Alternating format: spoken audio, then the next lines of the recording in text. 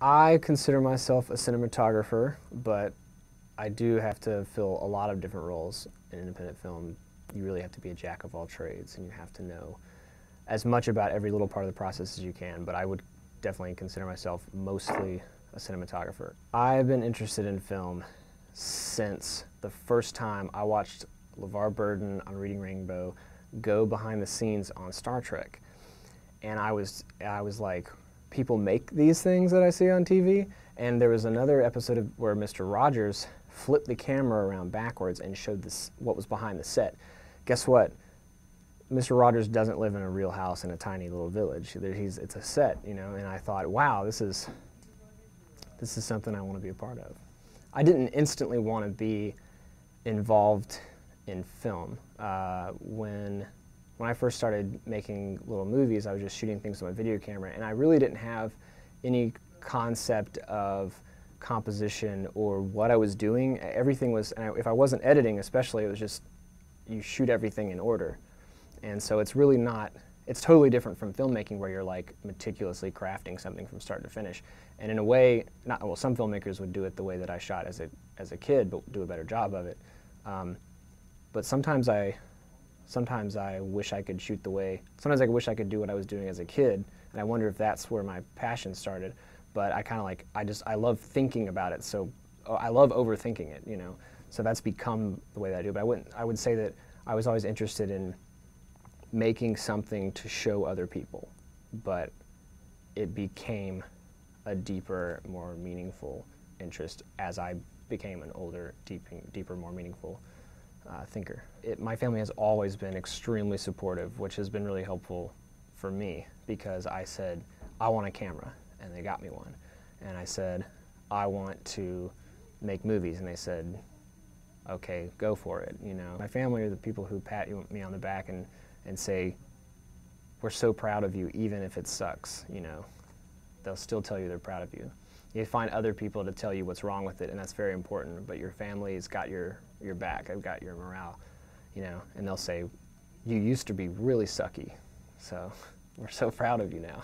The first thing that I remember filming was, uh, I think every I think every kid that picks up a video camera does this tour around the house kind of thing, and I did one of those and uh, I'm really glad that I did because it's like, in a way, it's a point of view documentary film, and it's the most, it's the most, it's the, it's probably the best representation of, of that moment of my life that I could get my hands on. If I, if I wanted to, I can sit down and watch that, and uh, that has gained more importance to me than it ever had before. Um, but the first thing I remember, the first thing I ever remember filming was a little tour around my house in the backyard. Oh, and I discover all the features of the camera in the process. So I'm like, look, there's a zoom. Look, there's a whoa, and it fades out. You know, there's letterboxing, and the time is flashing in the corner. I'm glad that I, I'm glad that I did that. I had, I've been, I shot things my whole, my whole life growing up, and in middle school, my friend and I, I just got my editing software, and my friend and I decided that we were going to make videos, and we made like four in a week, which was I think is still a record for me because um, does four I'm say four that are like surprisingly good considering that they were rushed so so much. But um, we collaborated on the ideas, you know, and we came up with these little scripts and shot them and edited them, uh, shot and edited them all in a in a week. At which point that I had confessed to my parents that I come out of the closet and say I I might I think I'm an artist what point was that? When I was in, uh, I think my parents, I feel like my parents always knew. You know, it was a given. My dad, my dad's a, a has been a photojournalist uh, since before I was born, and so I've been surrounded by cameras. My dad was always shooting pictures, and like, and and um, of course the rest of my family are uh, very artistically inclined, and a lot of them make a living uh, selling their, doing the art and selling their art. And so to to do pictures like my dad, but to, to do them in motion was just the logical next step. So I don't think that I didn't really have that moment with my parents where I said, this is what I want to do. When I, just, when I was ready to go to college, though, my mom said, uh, we were looking at a lot of very expensive schools to go to. And my mom said, um, one in particular was not accredited, you know, and these, these kind of issues came up. And we were both uh, wide-eyed when we toured these facilities. But my mom said, you know, you're 17, let's go, let's go to a four-year institution, let's get a regular degree first. And so I, I, I ended up uh, staying in town and saving a lot of money, which I've later blown on film projects. But I saved a lot of money going to a getting a getting a regular four-year bachelor's degree first. So there was kind of that moment where I said, I'm going to go all in. I'm going to go all in with this. And my parents were like, why don't we make some small bets first? And I, and at, you know, at the time I was a little reluctant, but, uh, but I, I, it's one of the best decisions that they ever urged me to, to make. I wanted to run, run off, run away and go to film school. It's hard to run away and go to film school because it costs you uh, what it would cost you to run away and buy a house. So I personally didn't go to film school first, and I, and I haven't gone to film school yet. And I don't know at what point in my life I may go to film school, but it's very much a financially based thing. However, I have never regretted so far the decision not to go to film school because if I had gone, I realized after I finished a four-year degree at a, uh, at a, at a regular four-year institution that if I had gone to film school before, I would have been completely overwhelmed. So in the time that I did not go to film school, what did I accomplish instead of getting a, a bachelor's in film production? Uh, I made a I made several short short form projects. I quadrupled my vocabulary of film terms because I didn't know any of the foreign ones. I didn't know any of the French words about film when I even when I came to, to college. And if you don't know any French words about film, you haven't taken a film class yet. So I uh, I learned I learned, I studied film. I took a lot of film studies courses where I wasn't making things, but I was watching things. That's been the biggest difference for me. And then I made a, uh, a 50 minute uh, student film, which was an over, just a, a, really large project to undertake over the course of like a couple of months when you've never done anything that long before. Um, so I, but I absolutely do not regret not going to film school um, before embarking on the projects I've, I've been on. I also, I've also had the privilege of, of getting a job that allows me to work with multimedia, and so every day I, I learn something new about a camera or a program, an editing program that I didn't know before. So a lot of a lot of I'm a lot of self-taught. If I went to a film school now, the challenge I would have is there's a little bit of stuff I would already know, but I still know I would learn like tons of stuff if I went to, to film school. I would never tell somebody never to go to film school. I wouldn't ever say never go to film school. I would not say that. I would say wait until film school can teach you what you don't know already. See what you can learn for yourself first. Uh, see what you can watch movies, learn from, let the other, let films teach you, and let your own personal experiences teach you. Then let film school tell you how to refine it and market it. But it is true that New York and LA are like the mecca of um, multimedia, filmmaking, broadcast, whatever, in our country. However, um, I would love to go to those places and work. I would love to go find opportunity in those places. But it's kind of like, it's kind of like uh, college. It's kind of like college. Think like college sports versus professional sports. I think uh, you can go out and you can play the big leagues for high stakes. You you get a lot of money. You spend a lot of money you're you're you know you're you're on a you're on a team of people that maybe you didn't choose to be on, but they're paying you the right amount of whatever. It's a, it's a high stakes game. It's a high stakes version of what we're doing, and and independent filmmaking is uh, the, the same people who criticize. I think the same kind of logic that, that criticizes pro football players criticizes the Hollywood movie makers. So like the independent guys, man, they're doing it because they love the game. You know, they're doing it because they love the sport, and that's totally true. And that doesn't mean that those other people don't love it, but it means there's absolutely nothing wrong with with uh, with playing the game because you love it, uh, making films because you want to make films, and seeing what you can do with your resources. They become, as a result, two totally different games. The fans are different. The, the experience is different. The team is different. Independent filmmaking is fun you're probably not going to get rich doing it. um, but it's a lot of fun. But I hope I hope that it leads me into some industry where I can get paid more to have just as much fun. But from my experience, you you generally have to you generally have to sacrifice one for the other a little bit. I'm just trying to find that perfect balance. So the benefits of staying local are um, you're you have more control over your film than you ever will have again in your life. This is the only time that you can make your film is when you're an independent filmmaker. Uh, even if you work in Hollywood and somebody gives you a vacation, which I don't think happens very often, uh, if you want to survive. Even if you get a vacation, you make you can you can make your own film, but that's independent filmmaking. Just because you're a professional doesn't mean you can't be independent filmmaker. Just because you're a, a, a dad and you're a manager of a bank doesn't mean that you can't be an independent filmmaker. So independent filmmaking is about using the resources that you have. It's very DIY, I think. Um, it's about having fun, learning, and you're providing don't knock yourself and don't try to make a Hollywood movie. You're an independent filmmaker. Embrace it and make something that no one has ever seen before. Independent. That's the that's the advantage of independent filmmaking. It's uh, your voice. Independent filmmakers in this in this area hesitate to network with other independent filmmakers in this area. Um, is it an ego thing? I don't know. Um, but independent filmmakers don't always network with each other. And they don't always network with the institutions around them that could help them network or help them get their projects off the ground. I think that they're all really confident and they all have that drive that makes independent filmmaking what it is, which is do it yourself.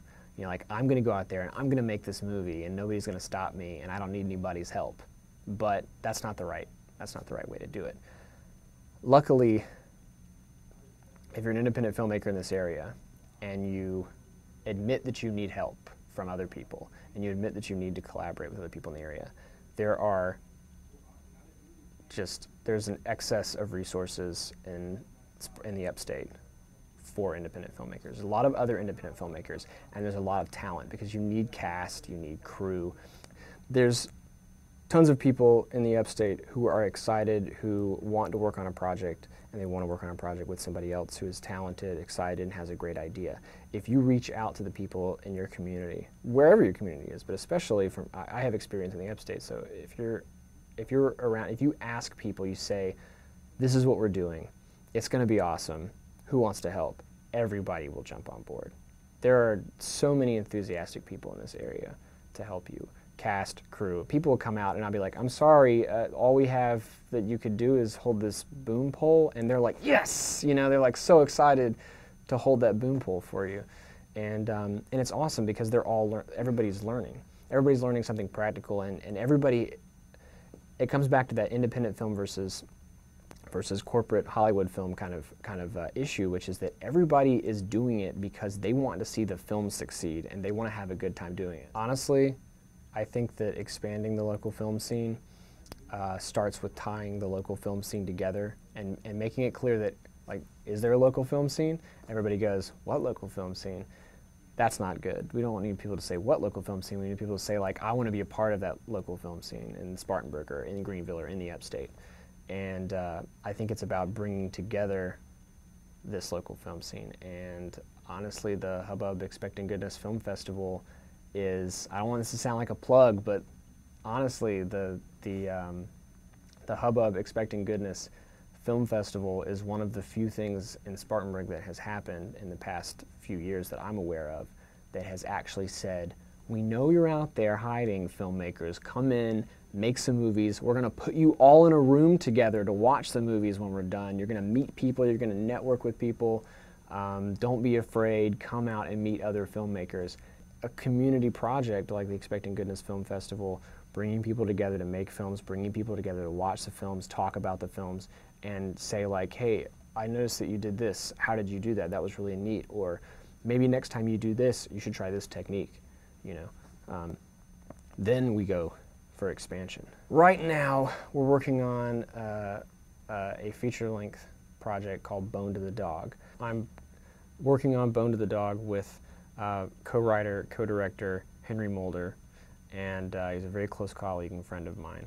And the story, which is his original concept, is about a hitman who has fallen on hard economic times like the rest of us.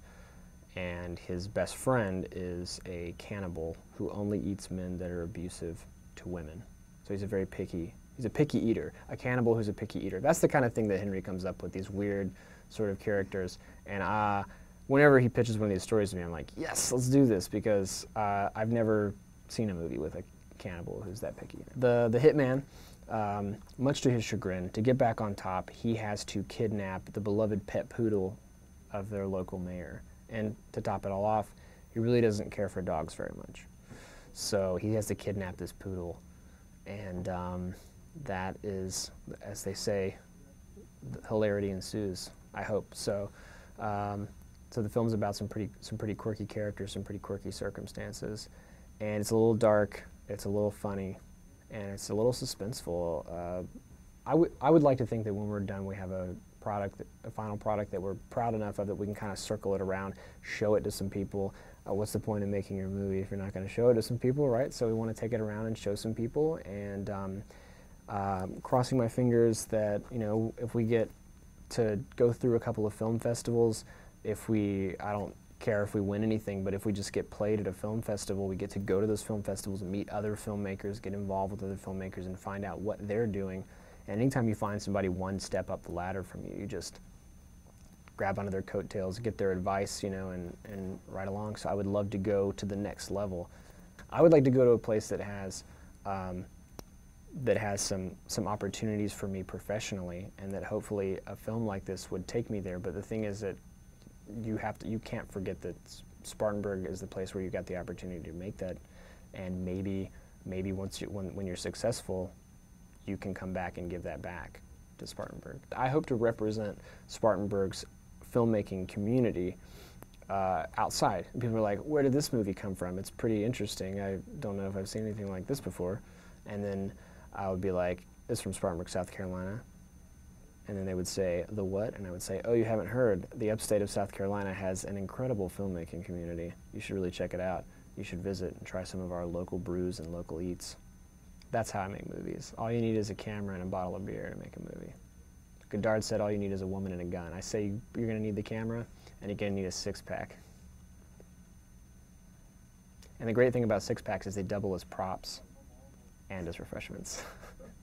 no matter how much you love or hate, and I think that's a love-hate relationship for most people, uh, social media uh, names that we won't specifically identify.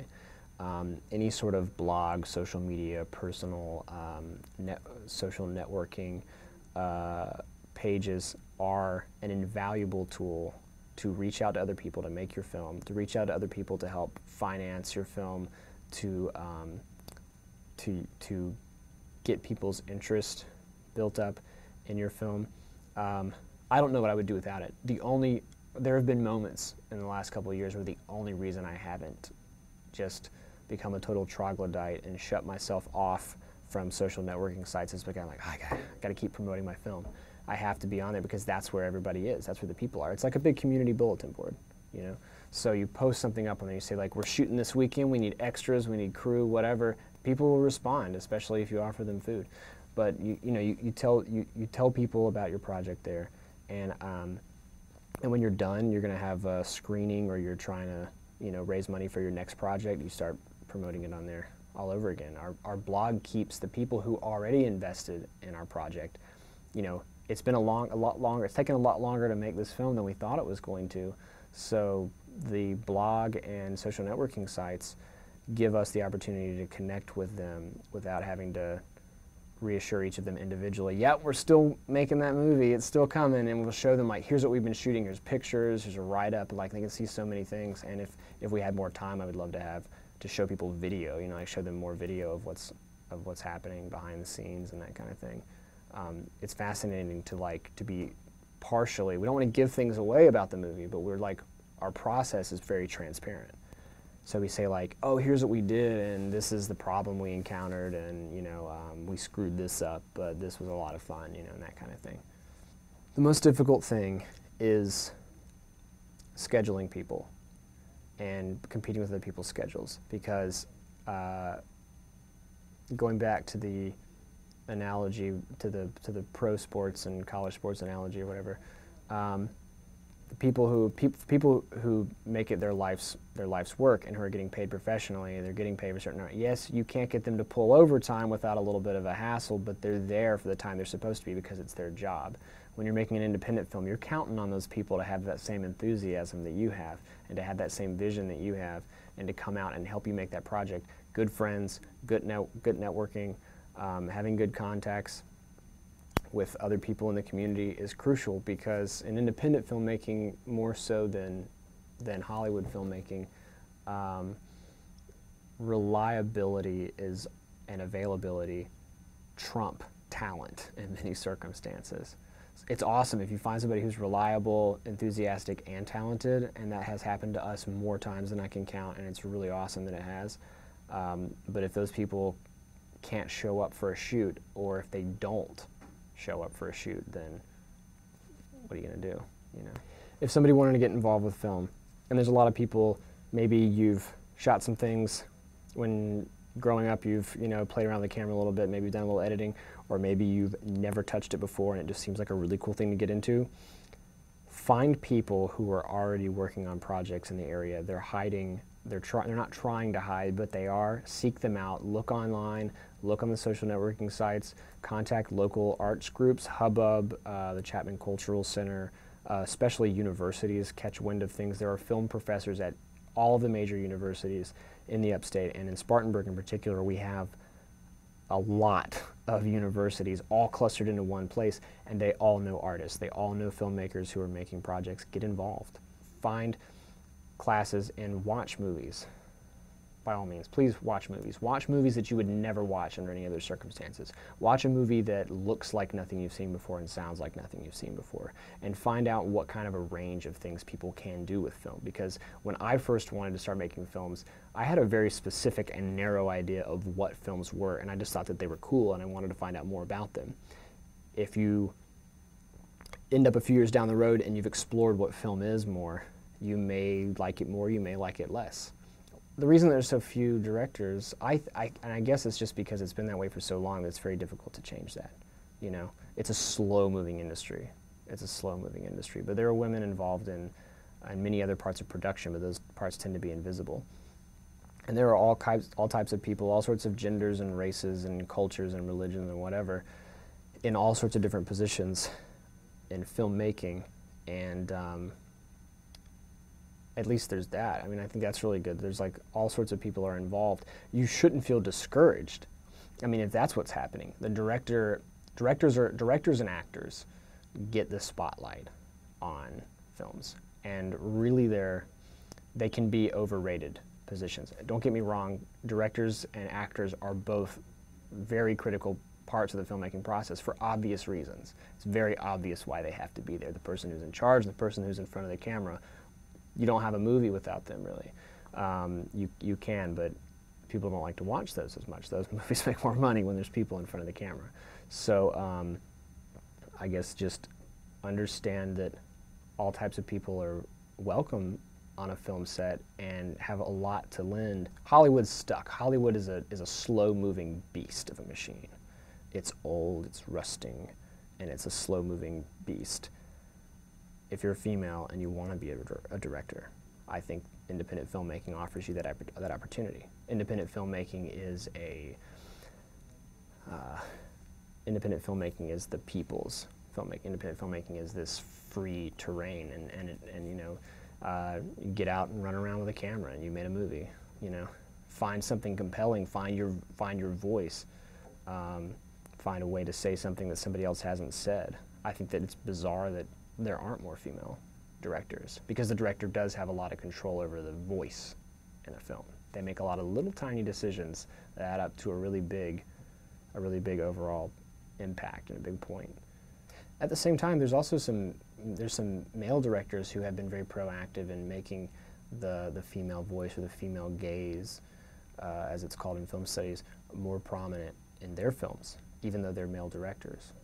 You know, but I think that and maybe that maybe that's what has to be done is maybe maybe these these male directors have to be like, look, this is a kind of movie, you know, that you could make. If you're interested in making films, if you've ever even vaguely considered making films, make one. get a camera, make one. If you're at a university, you can rent one from the university. Uh, if you have a friend with a movie camera, if you have an iPhone, embrace new technology. Don't let anybody tell you that you can't use this piece of equipment or that piece of equipment or that you need to do it perfectly because when you start making it, you're going to gain an appreciation for what it takes to make a film. You're going to learn something. You're going to do something you've never done before. Anytime you do something that you've never done before, I think it's a, it's a valuable experience in life. There's so many different things that you can do in life, and making a film is an incredible and rewarding and difficult experience. All of your little failures are this staircase towards success. So the more films you, you're not going to get good at something if you don't do it a lot. So live it, make movies.